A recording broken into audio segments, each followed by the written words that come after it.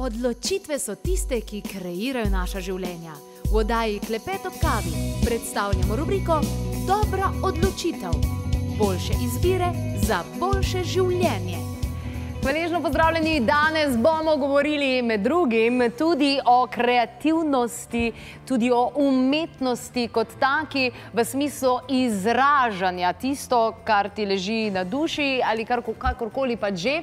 In v svojo družbo sem povabila dva umetnika, katere, eh, katerih dela zelo dobro poznam. Moja prijateljica Katarina Vidmar, ki jo že zelo dobro poznate, skupaj sva slikali in že marsikaj počele, in gospod Janko Orač, midva sva se pa uh, lihar spoznala. Ja. Uh, oba dva sta dolenca, uh, kar je zanimivo, to nismo sicer načrtovali. Uh, Katarina, kaj bi ti zase rekla, kakšna dela pravzaprav ustvarjaš, ker vem, da ne, hm. na velikih in Lušno vprašanje. Platnih, ja, ja, ja. Uh, Zdaj, trenutno se zelo veliko ukvarjam z akvarelom, akvarelnim tušem, uh, ker imam slikarsko šolo in uh, tehnika meditativnega slikanja, ki sem jo razvila, uh, ravno temelji na ustvarjanju z akvarelom, prelivanjem občutkov in čustev, ker je akvarela ena taka pretočna tehnika, lahkotna, s katero lahko vum na hiter narediš, izraziš svoje čustva. Ne? Tako da uh, zdaj za račole veliko delam z akvarelom ne, in nekako pomagam svojim učenkam, da uh, slikarska znanja, slikarske prvine usvajajo skozi meditativno slikanje v resnici ne, in je zelo zanimivo. Drugač pa večinoma akrilno tehniko, veliko slikam akte. Uh, bi jih raje v, z um, olji, ampak ker imam otroka, ki je devet let star in ker slikam uh, v prostorih, kjer tudi živimo, ne, in uh, so ti terpentini so zelo strupeni in potem pač pazam, uh, da ne uporabljam zaradi tega. Ampak se pa že, velim, že veselim časa, ko bom spet lahko recimo akte slikala z olji, ker je čist nekaj posebenega. No. Uh -huh. ja. Katarina je že gospod Janko omenila, ne, pa njene učenke, pa tako naprej. Se vam zdi, da, da, da so bolj ženske tiste, ki so bolj umetnice, mogoče glede na to, da smo ženske, ustvarjalke, kreatorje življenja? Kaj bi povedali? Glede na to, na to da ste sedaj v večini, bi mogoče delno prekinil, drugače pa seveda s tem ne strinjam. Odvisno, kako gleda kdo na ustvarjalnost. Uh -huh. Torej, če sodim po sebi, potem mislim, da je ustvarjalnost lastna vsakemu človeku, uh -huh. ne glede na spol. Je pa res to, da je mogoče eh, ženskam, ne bom rekel lažje, ampak se znate drugače izpostaviti, drugače to transformirati, smo verjetno moški malo bolj zadržani, če zdaj nekako posplošeno govorimo. Uh -huh. ne, drugače pa mislim, da je kreativnost pri obeh spolih eh, odprta in dejavna. Vidva se oba tudi preživljata s slikarstvom, je tako? No, to je kar izziv boj, da pravijo, ne, biti umetnik v Sloveniji. Ampak tako, ne vem, jaz, ko se pogovarjam z ljudmi, sem ugotovila, da ljudje kar ostanejo pri svojih slikarskih, risarskih tehnikah tam na enem tretjem, četrtem razredu osnovne šole, da se jim tam kar neha in da tudi kasneje v življenju ne rišejo, ne ustvarjajo nekaj na papir, ne prelivajo zadev na platno. Pa bi vendar lahko bilo drugače, ne? ker bojijo se včasih ljudje, da bi, da bi kaj... Kako na vas gleda, kako vi gledate recimo na to? Ja, zdajte, to, kar ste zdaj omenila, je tako kompleksno vprašanje, verjetno kar za več odaj, ne samo za eno. Naj dodam samo to, da seveda, zakaj se v tej fazi otroški tam osmih, desetih let konča ustvarjanje začnejo se ta razvojne stopnje odraščati, tista otroškost, igrivost, ki smo jo mi tako z veseljem gledamo, se čudimo našim otrokom, vsem, ki ustvarjajo, kako so oni eh, direktni. O tem je ta vica. Ne? Oni so sproščeni, potem se pa že začne to usklajevati, neka ta znanja vedenja in skozi to v tej fazi se začne umirjati. Zato se pa kasneje, potem ponovno v dobi odraščanja in to spet lahko pokaže. In to, kar se takrat pokaže, je ustvarjalnost, začetek ustvarjalnosti. Vsi otroci so ustvarjalni. Tukaj le not pripeljete sto otrok, jih bom vodil, bodo delali, kar želimo in bodo super stvari delali. Kaj pa odrasli? Tehnike slikanja uporabljaš tudi pri čiščenju podzavesti in tako naprej. Kaj pa pri odraslih opažaš? So ustvarjalni ali so pozabili biti to, kar so, pa so mogoče ujeti neke sisteme, programe, kar družba od njih pričakuje? Ja, mislim, da je to. E, jaz bi tukaj dodala, jaz imam hči, ki je devet let stara ne, in opazujem ta proces, kako je šlo, ker je izjemno ustvarjalna. Uh, res presega mene mnogo krat. In uh, ona se je, recimo, ko je bila stara štiri leta, ona se je postavila pred platno z, ali pa pred velik list papirja in to z barvico. Ona je bila samozavestna pred njim, ona se ni nič bala, kako to zgleda. Nje sploh ni zanimal, če bo kdo, komu to všeč. Ona je neznansko uživala v ustvarjalnem procesu in to se je videlo v njenem telesu, kako je stala, kako je risala, z vsem, kar je počela. Ne? Potem pa uh, šola je pa pač takšna, kakršna je in učijo otroke tekmovalnosti in jih primerjajo, poglej, tako pa tako mora biti. In potem se je začela spraševati, a sem dovolj dobra, a ne? Uh, če moram biti taka pa taka, to se pravi, da je začela sprejemati merila od zunaj, ne več tisto, kar je njej dobro. In jaz uh, In mislim, da, je, da tukaj zdaj preko nje vidim to, kar se je dogajalo večini ljudi. Jaz imam zdaj uh, slikarsko šolo in um, to, kar sem že povedala, in imam v njej same ženske, in vse so brez slikarskega predznanja, so prišle v šolo. Uh, in vse si želijo izražati, si želijo slikati, uh, in vse imajo neke blokade, zaradi tega, ker se niso zdele dosti dobre, ker so jim starši rekli: Ah, kaj pa je to, to je brez veze. Seveda, ker je bila v šoli bolj pomembna matematika, slovenščina in vse ostalo. V četrtem razredu zdaj imajo dve uri na teden likovnega, dve uri. A veste, kaj je to? To je manj kot telovadbe. Uh, tako da s tem, da ne, dela, ne ustvarjajo, ampak delajo po programu. To pa to mora biti tako pa tako narejen, da bo učiteljica, ja, da bo učiteljica lahko ocenila, ker če bo pa otrok ustvarjalen, kako ga bo pa potem ocenila. Hmm. Tako da, ja. Je malo čudni časi, ampak ja. ko smo že ravno pri teh časih, uh, ko sem brala recimo autobiografije velikih tudi politikov na svetu in tako naprej, je bilo včasih povsem normalno, naravno, da so recimo, ne vem, Churchilla recimo vzamemo, da je bil zraven še izjemen slikar. Vsi ti ljudje, ki so bili na nekih pozicijah in tako naprej, so bili tudi slikarji, so ustvarjali in pravzaprav lepo jim je šlo. Vemo, Hitlerjeve slike recimo presenečajo, uh, gospod je res to obvladal, je, je, je znal narisati. In jaz si to razlagam, kot da so s tem malce uravnotežili levo in desno možgansko polovico uh, vso to delo, ki so ga imeli, zato da so res lahko dali vse od sebe. Danes, ja, no, mogoče bi lahko Pahorja vprašali, če zdaj kaj narisati. Uh, po moje bi se lotil. Leta, uh, to pomeni, da to, kar sem že prej rekel, da imajo otroci, imamo ljudje veliko talentov, nekateri več, nekateri manj. In tudi te znane osebnosti, če so prišle, prišle v svoji funkciji tako visoko, imajo širok razpon tudi enih talentov in jih občuten ker človek se osebnostno gradi na širokem polju. Stvar je pa zdaj naslednja, ali se je nekdo v času svojega zorenja odločil za pot ustvarjanja. To je ena bistvena tema. Mhm, mhm. Ogromno je talentov, ki tega talenta niso razvijali. E, so mislili v začetku, da z svojim talentom lahko v trenutku vse rešijo, mhm. e, pozabili so pa na delo, ki je osnovni pogoj ustvarjanja. No, ampak verjetno je tukaj razlog, zakaj mogoče danes ni tukaj nekih novih, svežih talentov, umetnikov. Mislim, so talenti, ampak se ne odločijo za to pot. Verjetno je malo težje preživeti v Sloveniji kot umetnik, kar pa kot nek bančnik ali pa računalničar. No, jaz pa mislim, eh, pogledajte, eh, da je malo drugače, da je danes, ko mhm. gledam eh, svojo generacijo mlajše, da je ogromno ljudi, ki ustvarja ogromno ljudi, ki se odloča. Je pa problem ta, ki se ga postavlja zelo pereč, preživetje enega ustvarjalca danes na trgu.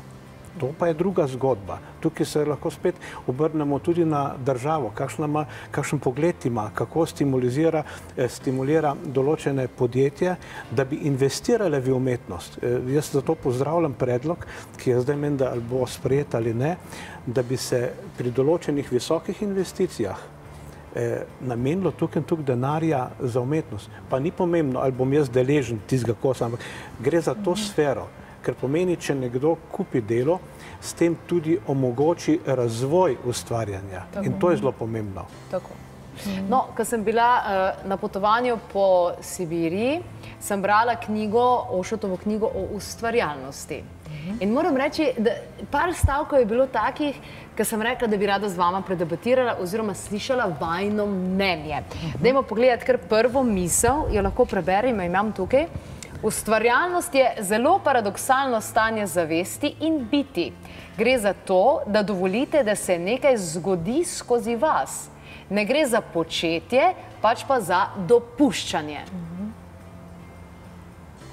Ja, e, vsekakor. Sej, ti si mene videla v ustvarjalnem procesu uh -huh. in uh, se zgodi uh, ena posebna pretočnost, uh, zagotovo je to prepuščanje.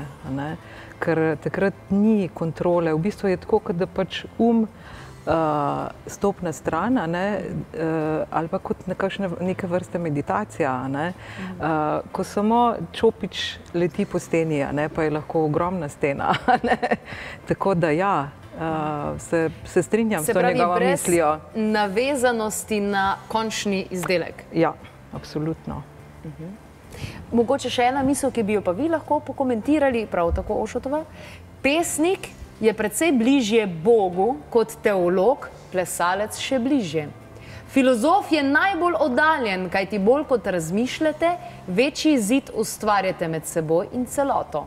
Bolj kot razmišljate, bolj ste. Ko vas ni, Bog je. To je ustvarjalnost. Ja, pomeni, da se mora ustvarjalec prepustiti čustvom, da v bistvu zaplava. Jaz to večkrat ponazarjam z skokom v reko. Torej, greš in jo, če želiš preplavati, moraš plavati, jo moraš preplavati, ne se usredotočiti, da te to odnese.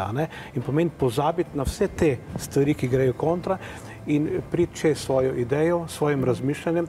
Je pa to eno posebno stanje, ki se ga težko, eh, tako bi rekel, tako dokazljivo z nekimi merili opisuje. -huh. Vse, eh, vse, kar se v umetnosti želi opisovati, meriti, pravzaprav je vprašanje, je to sploh umetnost. Čim je neka stvar izmerljiva, natančno, kaj in kako, potem je preveč hermetično zaprta. In umetnost, mislim, da je to, kar gre rahlo čez rok, malo mal se osvobodi.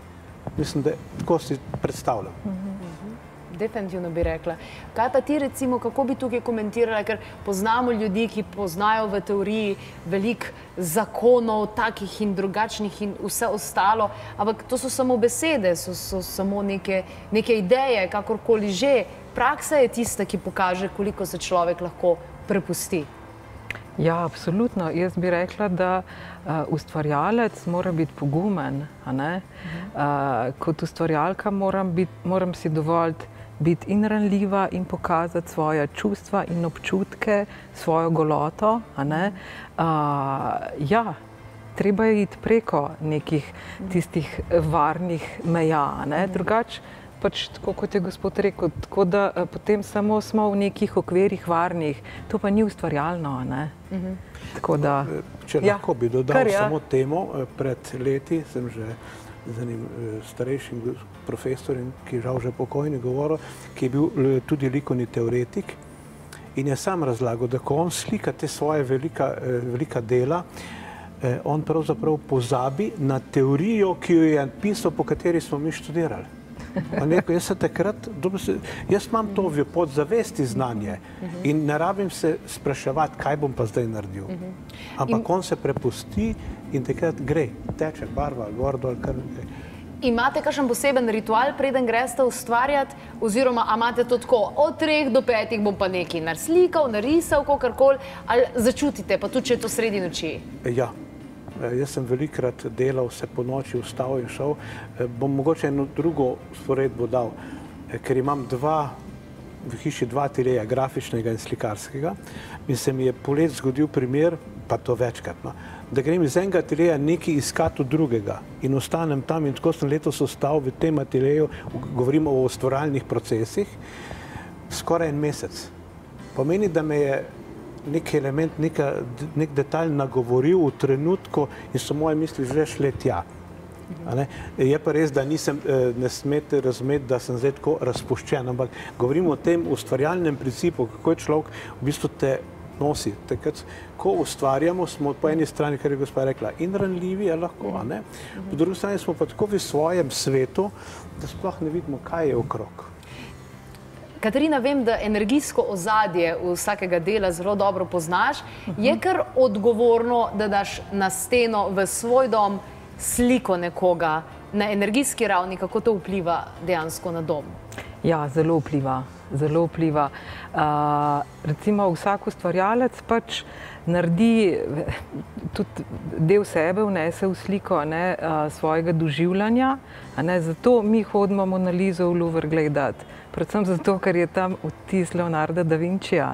Vse je, slika je čudovita, ampak ne, predvsem gre za tisti stik z njim z tem ustvarjalcem, ki ga začutiš preko njegovega dela. Ne? In je zelo važno, kakšne slike imamo na stenah. Tako da je treba iti v čutenje, kako jih začutimo.